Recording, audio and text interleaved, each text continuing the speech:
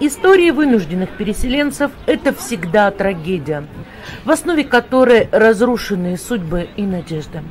Закарпатский регион ежедневно принимает несколько тысяч беженцев. В основном это женщины с детьми. Первыми их встречают волонтеры. Быть волонтером в Закарпатской области не только почетно, но и весьма ответственно. Ведь людям, которые пришли работать в благотворительные организации, приходится через сердце пропускать все жизненные истории перемещенных граждан. Здесь, в волонтерском центре, вынужденным изгнанникам из родных областей, где постоянно идут обстрелы и бомбежки, помогают найти укрытие, предоставляют горячее питание, лекарства одежду. Приехавшие люди тоже подключаются к работе добровольцев. Причем не только взрослые, но и дети. Главным в этой команде стал местный житель, ученик седьмого класса Сергей Волочинский. Он начинал с того, что помогал маме и другим благотворителям сортировать одежду и продукты, а потом перешел работать на кухню. Сейчас рядом с ним трудятся почти 10 детей от 9 до 17 лет.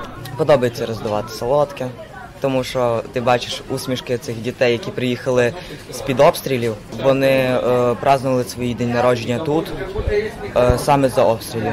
Дуже вони розказували свої історії, як вони тяжко виїжджали з тих обстрілів, як стріляли танки, е, піхота, різні е, артилерії.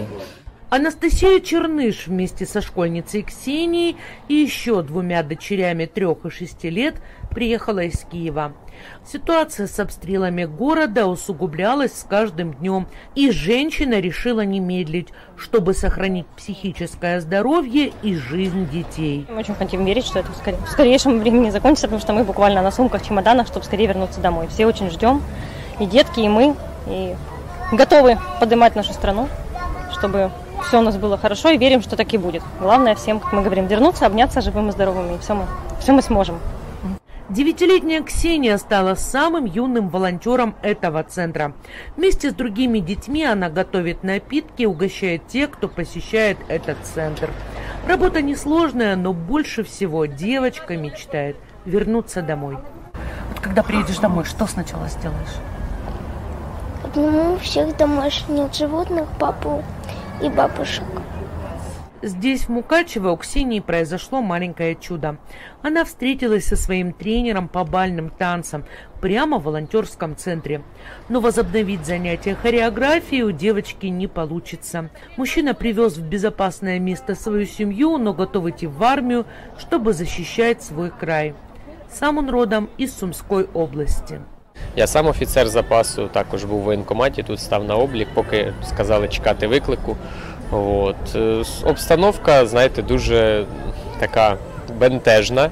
От. Ніколи не міг подумати, що мою рідну Сумщину, мою мальовничу Сумщину, яку я всім серцем люблю, будуть так е, нищити і так, так її нівечити. От Не ожидали, что их дома и школы будут бомбить и два юных брата-волонтера из Борисполя, Киевской области.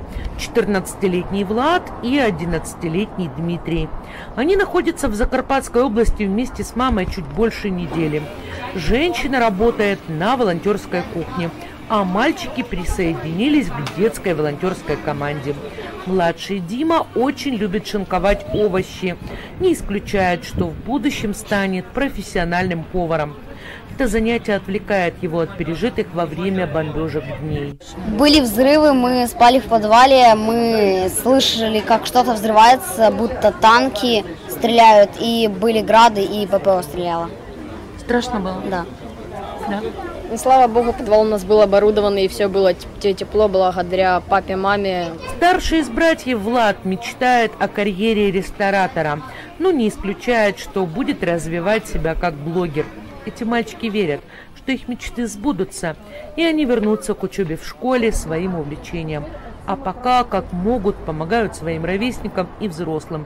И вынуждены вместо уроков в классе познавать страшные уроки которые им преподнесла война. Волонтерские организации работают по всей Украине. Объединить их в единое движение предложил президент страны Владимир Зеленский. А парламентарии вынесли законопроект, согласно которому за продажу гуманитарной помощи грозит уголовная ответственность.